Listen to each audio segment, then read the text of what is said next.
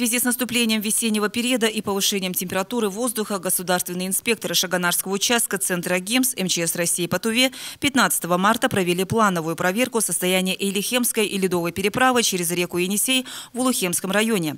Замеры льда на реке показали, что толщина ледового полотна составляет 90 сантиметров. По итогам проверки принято решение снизить грузоподъемность переправы с 20 до 10 тонн.